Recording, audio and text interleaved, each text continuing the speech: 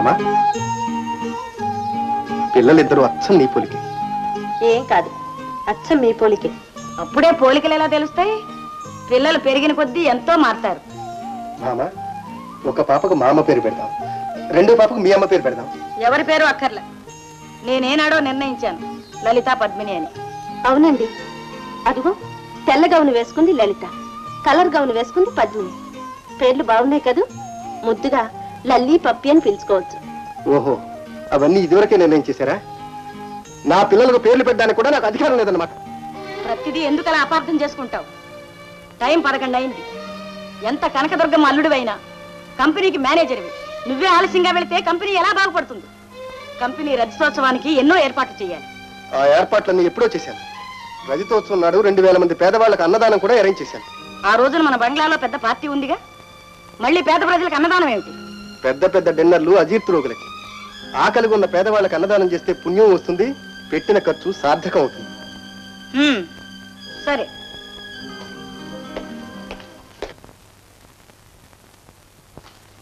సరోజ రజతోత్సవానికి ఖర్చులు జాబితా ఎవరు మార్చారు? మార్చలేదే పేదలకు అన్నదానం ఖర్చు వెయ్యి రూపాయలు ఇందులో లేదే? అది కూడా లిస్టులో చేర్చండి. పెద్దమ్మ గారిని ఒకసారి అడగండి. అడగక్కర్లేదు. పోనీ నేను అడుగుతాను.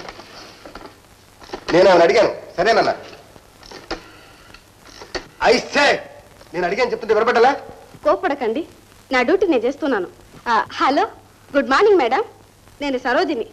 రజతోత్సవం బడ్జెట్లో పేదలకు అన్నదాన కింద వెయ్యి రూపాయలు చేర్చమంటున్నారు మేనేజర్ గారు. ఆ, సరే. అలాగేనండి. ఏమన్నారు? సరేనన్నారు కదా? లేదండి. ఆ అయితే ఇప్పుడు చేర్చనక్కర్లేదు. తర్వాత ఆలోచించి చెప్తా అన్నారు. నేను అడిగినప్పుడు సరేనన్నారే?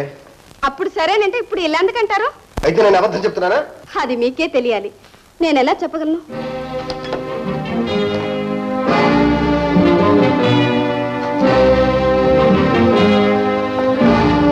ఆమా మీ ముందేగా పేదలకు అన్నదానం సంగతి చెప్తే మీ అమ్మ సరేనన్నది అవును? ఇప్పుడు చూడు సెక్రటరీ సరోజ ఫోన్ చేసి అడిగితే అక్కర్లేదు ఆలోచించి చెప్తానందట. మధ్య నా పరువు ఏం కావాలి? చిచి ప్రతి చిన్న విషయంలోనూ ఆవిడ కలుగు చేసుకుంటే నాకు ఈ మేనేజర్ ఉద్యోగం ఎందుకు? ఎందుకంటే మా అమ్మకు నేనంటే ప్రేమ కాబట్టి మీకు ఈ ఉద్యోగం ఇచ్చింది. మీరే చెప్పండి. ఆ బస్సు వ్యాపారం సంగతి మీకేం తెలుసు? మా అమ్మ కాబట్టి గాని ఇంకెవరైనా అయితే మీకు డైరెక్ట్గా ఇంత పెద్ద ఉద్యోగం ఇచ్చేవారా? ఓహో అలాగా? అయితే మేనేజర్ అన్న బిరుదెందుకు? ఆ ఇచ్చే జీతం డబ్బులు అల్లుడన్న పేరుతో ఇవ్వచ్చుగా? చక్కగా ఇంట్లో కూర్చుని పిల్లలు ఉయ్యాలు లూగిస్తూ జోలపాటు పడతాను. అల్లుడు గారి జోలపాట జీతం అని ఖర్చు రాస్తే ఇన్కమ్ ట్యాక్స్ వాళ్ళు ఒప్పుకోరండి. చాలే క్లిప్. ఒళ్ళు మండిపోతుంది. మీరు అలా ఉడుకుంటూ ఉంటే నాకు నవ్వాలనిపిస్తోంది. ఏం చేయను అవును మీ జాతి లక్షణం ఎంత? బాధపడే వాళ్ళని చూస్తే జాలి కలగపోగా పైగా వినోదం. హలో ఏమిటి? యాక్సిడెంటా? మన బస్సు కింద మనిషి పడ్డాడా? అరే వెంటనే జనరల్ హాస్పిటల్లో అడ్మిట్ చేయండి. నేను వస్తున్నాను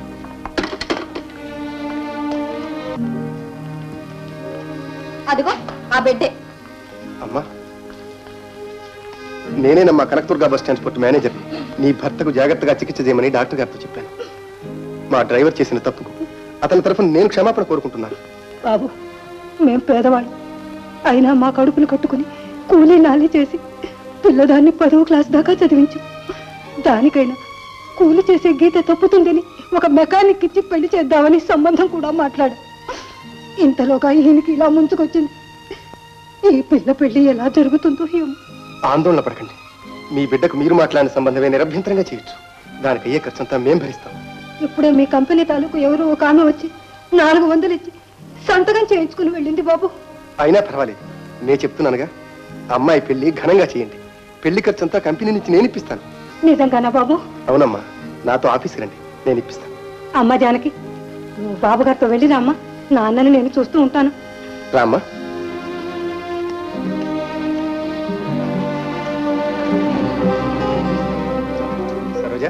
దెబ్బలు తగిలి హాస్పిటల్లో పడున్నాడే అతని కూతురు.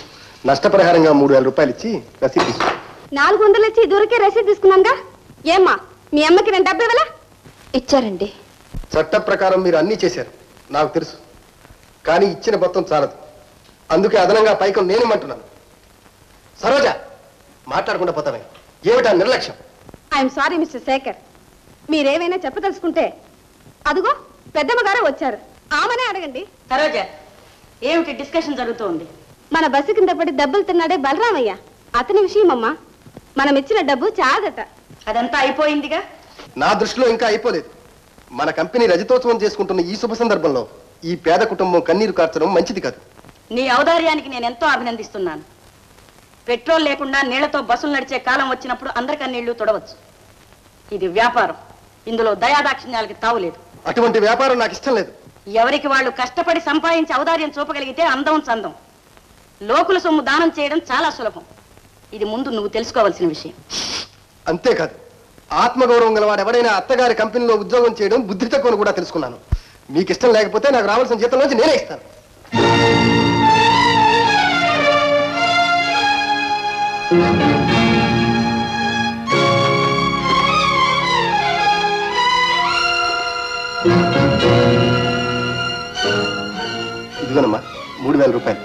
తీసుకువెళ్ళి మీ అమ్మకి తీసుకోమ్మా.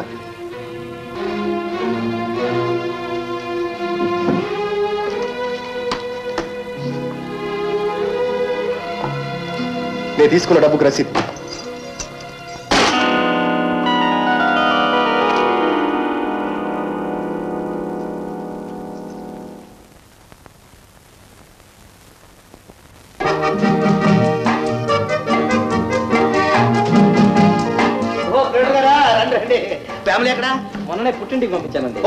వంశోద్ధారు కూడా. థ్యాంక్ యూ థ్యాంక్ యూ ఎరా సెకండ్ డోసా అదేమిటండి? మన ఫ్రెండ్స్ అందరూ వస్తే మీరు ఇలా ఒంటరిగా మూల దాక్కున్నారేమిటి? వాళ్ళందరిని చూసుకోండి. వండర్ఫుల్ వండర్ఫుల్ అబ్బా చూస్తుంటేనే కడుపు నిండిపోతుందిరా. ఏర్పాట్లని చాలా బాగా చేయించావు. రండ్రా.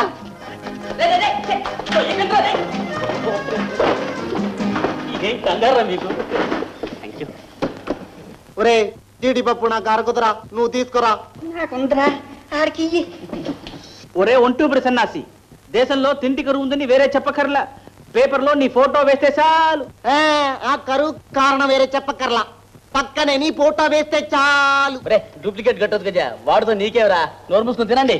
క్షమించండి ఈ టేబుల్ పెద్ద మనిషికి రిజర్వ్డ్ పెద్ద మనుషులు కొమ్ములు ఉంటాయండి? నో పెద్ద నో చిన్న. మేము శేఖర్ స్నేహితులం. ఆహ్వానం పంపితేనే వచ్చాం. ఇన్విటేషన్ జోబిలో ఉంది చూపించమంటారా? సర్లేండి ఇది ముఖ్యులైన పెద్దలకి ప్రత్యేకించిన స్థలం. సరోజ! ఎందుకు అలా కేకలేస్తారు? ముందే చూసి కూర్చోపెట్టాల్సింది మీకు తెలీదు ఒకరు చెప్తేని వినరు. ఏమండి మీరంతా లేచి మరో చోట కూర్చోండి. మరొక చోట అంటే వరండాలోనా రోడ్డు మీద? ఒరే ఇది సిల్వర్ జూబ్లీ ఫంక్షన్ కదరా ఐరన్ జూబ్లీ. మిస్టర్ శేఖర్ హ్మ్, నిన్ననే ఏం ప్రయోజనం? వచ్చిన వాళ్ళది మాది బుద్ధి తక్కువ. మిస్టర్ శేఖర్ కూర్చున్న వాళ్ళు లేపుతున్నారే ఇదేనా ఏంటి మర్యాద? మిస్టర్ గోపాల్.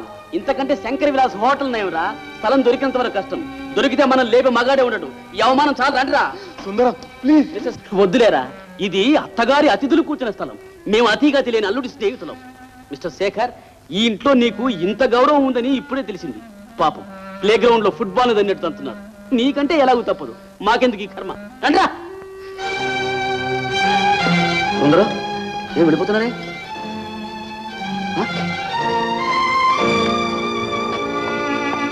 శేఖర్ మీ వాళ్ళు ఏమీ తీసుకోకుండా వెళ్ళిపోతున్నారే? ఏమిటి శేఖర్ అలా చూస్తున్నావు? మాట్లాడవే. నేను మీ స్థితికి రావడానికి ఇంకా ఎంతకాలం పడుతుందా అని ఆలోచిస్తున్నాను మావయ్య ఈ ఇల్లు ఒక ప్లే గ్రౌండ్ ఇందులో మీ భార్య కూతురు బంతి ఆడుతున్నారు. ఇన్నాళ్ళు ఆ బంతి మీరు. ఇప్పుడు మీ స్థానానికే నేను రాబోతున్నాను. ఇంతవరకు ఆడేవాళ్ళే బంతిని తన్నేవారు. బంతే ఆడేవాళ్ళని తన్నే కాలం వస్తే ఎలా ఉంటుందో నేను చూపిస్తాను. నువ్వు అదృష్టవంతురాలే భామ. చెప్పినట్లు వినే ముగ్గురు దొరికాడు. ఆడదానికి అంతకంటే ఇంకేం కావాలి? ఏమిటి? కేకలు? మర్యాద లేకుండా గుడిసెల్లో వాళ్ళ ప్రవర్తిస్తున్నాం. గుడిసెల్లో వాళ్ళు? నాకంటే గుడిసెల్లో వాళ్ళేనయ్యం. బజార్లో బండి తోలినా తన గుడిసెలో తనే రాజు. వెళ్ళాం తన మాట వినకపోతే గుడిసెల్లో వాడు ఏం చేస్తాడో తెలుసా? రా?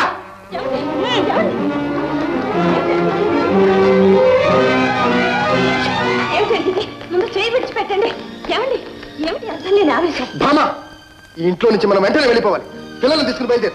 ఇంట్లో నుంచి వెళ్ళిపోవడమా? ఎందుకు? అదంతా నీకు అనవసరం. నీ భర్త నేను చెప్తున్నాను.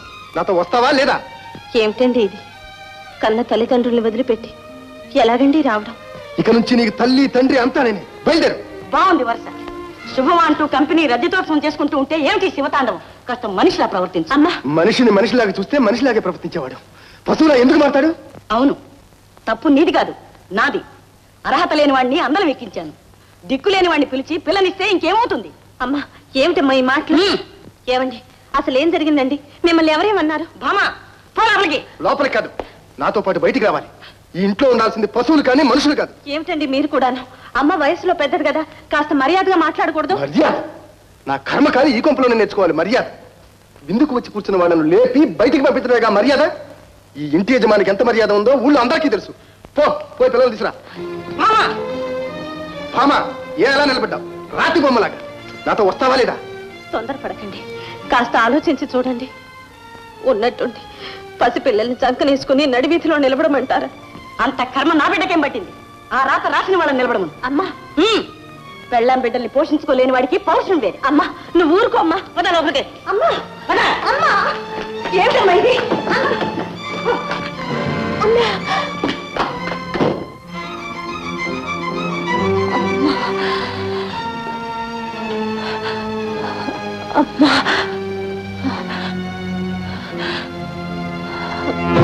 ఎక్కడికి? నా భార్యను తీసుకువెళ్ళడానికి. భార్య? నా కూతురు అన్న విషయం మర్చిపోయి మాట్లాడుతున్నావు. పెళ్ళయ్యేంత వరకే మీ కూతురు ఇప్పుడు నా భార్య. ఇప్పుడే కాదు ఎప్పటికీ నా బిడ్డే.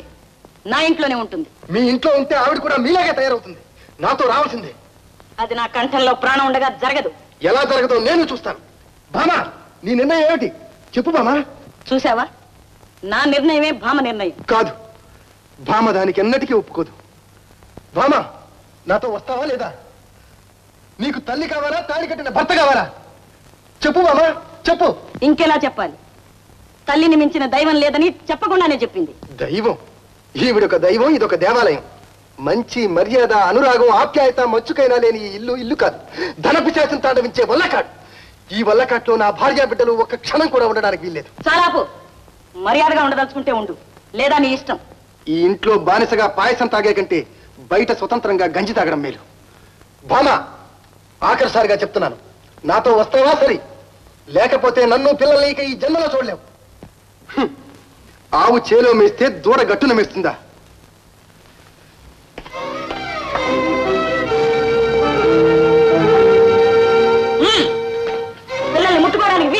వీళ్ళు నా పిల్లలు. నేను తీసుకెడతాను పిల్లలు తల్లి దగ్గర ఉండాలి.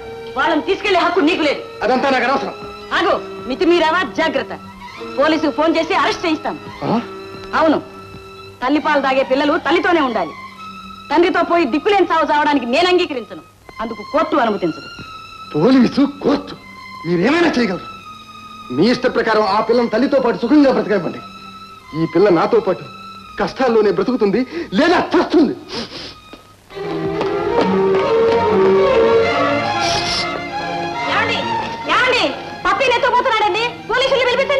కనకం నీకేమైనా మతిపోయిందా బయట పెద్ద మనుషులతో వచ్చి కూర్చున్నారు. ఇప్పుడు పోలీసులు పిలిపించి అల్లుని అరెస్ట్ చేయించి అబాస్ పాలు చేసుకుంటావా? అయ్యయ్యో. ఏదో కోపం మీద పెడుతున్నారు. చల్లారే అతనే తిరిగి వస్తాడులే.